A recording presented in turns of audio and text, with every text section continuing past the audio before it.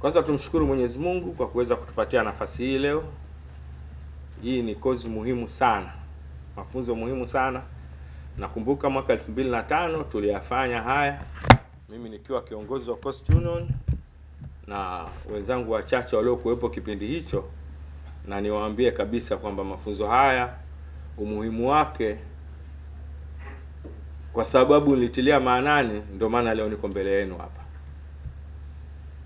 Kwa hiyo ni vitu vya msingi sana kuhakikisha kwamba haya mafunzo ambayo tumekuja leo tunayachukulia kwa uzito wa hali ya juu. Kuna vitu vinne ambavyo nadhani tuta tutavipitishiwa. Kimojawapo ni kitu muhimu sana, strategic plan, mpango mkakati. Hili ni jambo la msingi sana.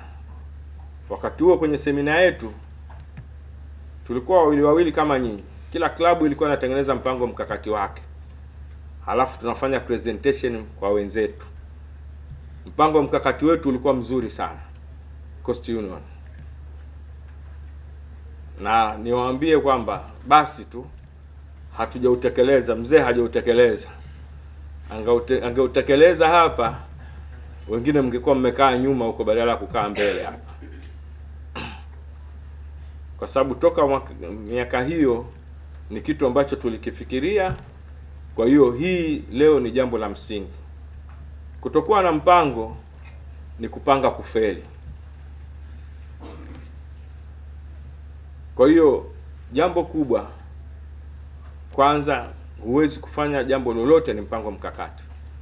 Hata si TFF nilivyoanza mimi, ile first 11 yangu nikaigeuza mimi ikawa mpango mkakati, ndio unaotekeleza, na kila baada ya miaka mitatu tunaofanyia mapitio, tunaangalia kipi tumefanya, kipi hatujafanya, changamoto ni zipi, tunakuja tunaendelea. Kwa hiyo ni jambo la msingi sana, mtakapokuwa mnasikiliza haya, mnapitia, na nitawaomba Davis, unasikiliza Kiswahili, kila mmoja atengeneze mpango mkakati. Utaangalia wafanye presentation, angalau ni jambo muhimu. Kwa sura na ninavyowafahamu viongozi wa vilabu vyangu, na hakika kabisa kwamba watayachukua haya na baada ya muda kutakuwa na mabadiliko, lakini pia tutaweka checklist yote ambayo yatafanyiwa kazi, tutaangalia yatakwenda pamoja sambamba na club licensing kuhakikisha kwamba angalau hivi vitu tunavifanya kwa wakati ili kuweza kubadilika.